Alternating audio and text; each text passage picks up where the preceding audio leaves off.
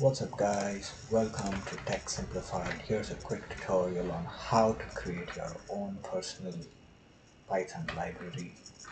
And believe me, it may sound overwhelming right now, but it's not. It's just a few lines of code and this is not a full-blown library. This is just a few functions inside a library. So imagine a library that has like only two or three books like a library as big as a shopping mall but only two or three books. Makes no sense, right? But that's how you start building libraries. Start, writing your first function and then uh, maybe it goes on to GitHub and people start contributing to it. Just say you come across this task that you keep on doing every day. Keep on doing every day as in not brush your teeth, but come here and keep writing the same stuff again and again. So you can make maybe make a function out of it and store it in the library and pull that function out whenever you need it. So say I need to add two numbers every day. Since math is not that great, I take two values inside my function and I return addition of them and I'll see try if it works. And comma say 40 this is always the toughest. Right 23 so this works. So what we do is we copy this. Take it out.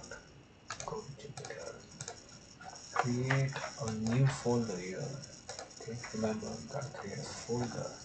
And I don't know why Jupyter does this, but does not allow you to rename you create a folder. Or maybe there's a way which I don't know. And maybe we create this in my library. And let's enter to my library. If you saw that, I had already created another library for this. That was my first library. This is my second library. What you do here is you come here and create a text file, not a Python 3 kernel, but come here, create a text file, paste your function.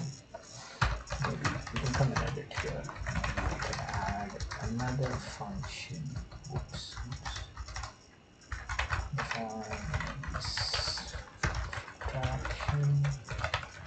Takes in two values difference. Alright and there. This is the main part. You can you can call them library I would like to call it math stuff and use the dot .py extension in this. Okay so this is basically a Python script.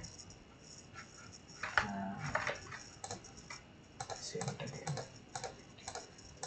Gotta save it like a couple of times. I'm just kidding.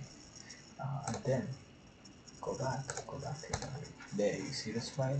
Gotta create another file called underscore underscore i i n i t all in small case dot py. So it's let me repeat it again. Double underscore init double underscore dot Remember that, save it, let's go back to library, there it is.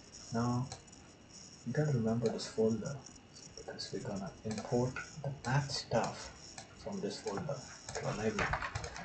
This is how you write it. Import, okay, no, yeah, from my library import stuff. Stuff math stuff. And you gotta import it as an alias or else you have to type math stuff all the time so I'll just write it say maybe table why can I not think of a variable name? Let me just write ms for now.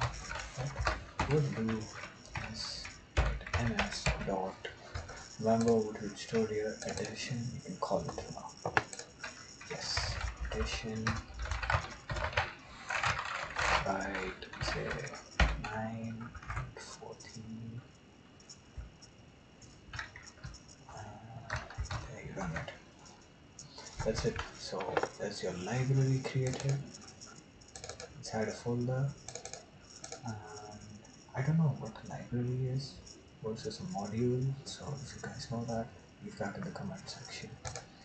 And uh, I think that's it. That's it. Let's try the subtraction. If I can spell it. And let's try subtraction nine. Two. Or the other way. Two from nine actually. Yeah. So you can decide with how you want to put the rules. So the thing about these libraries are, say, you say you're a finance guy and you always keep coming across these calculations that you have to keep doing, and this maybe it's like a 50 line code of 100 lines of code, just keeps you have to always define it. Come and store it here and say define finance stuff, in A comma B. Now just return. A into b. Or maybe a into a plus b into b. Just make it more complex. In there. Save it don't know if I have to save this one I'll save this one too. Come here try importing finance stuff and pass in two values 7 comma 8 okay it throws me an error saying module my library that my stuff has no attribute finance stuff. Okay so maybe i'll have to it again okay where does it telling me that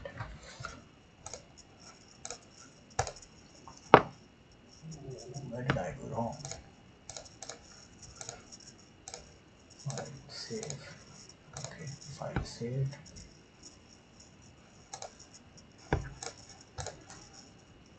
Uh, let me try deleting this.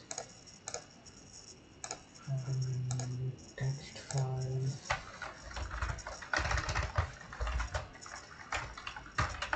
gone to init gone to dot py okay Let's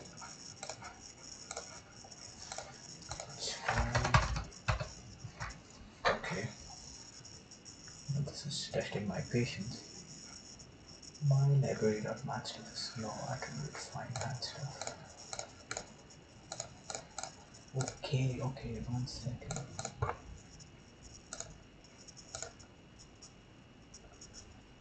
Can you actually see this function inside my module?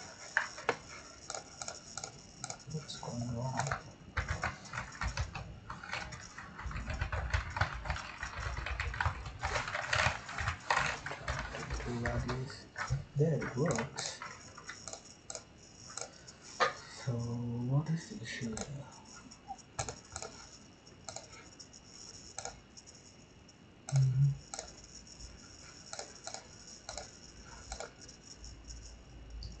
What may be the issue? Okay, the tutorial is taking way too long. Uh, I'm assuming you got the first part right, but yes, I, I will fix this bug in a while. What is happening?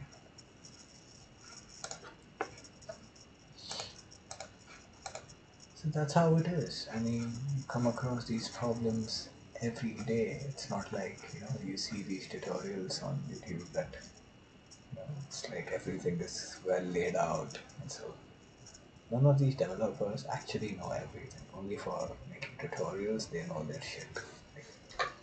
They know their stuff well, they prepare for it, and then, you know, they just speak it out like in, in my like in absolute fluency. But it's not how it works. You just have to problem solve every life. I hope I don't get a ban for using such words.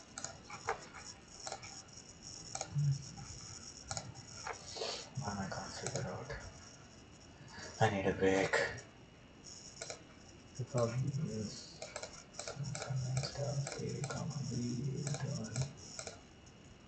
if you guys fix this, just leave it down in the comments. I'm too tired today. Sorry guys.